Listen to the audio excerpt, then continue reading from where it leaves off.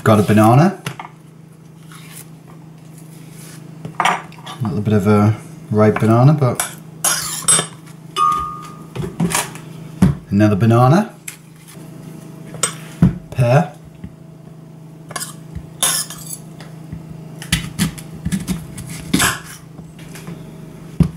An apple.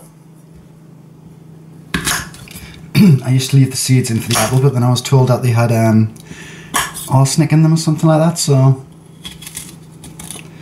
the seeds come out now. Spinach, kale, and I've got some frozen berries today. Sunflower seeds, pumpkin seeds. You don't need too many of these because they're quite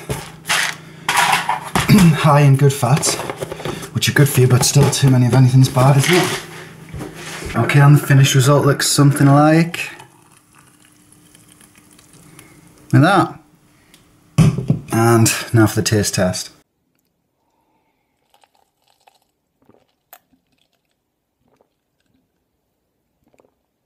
That is really, really good.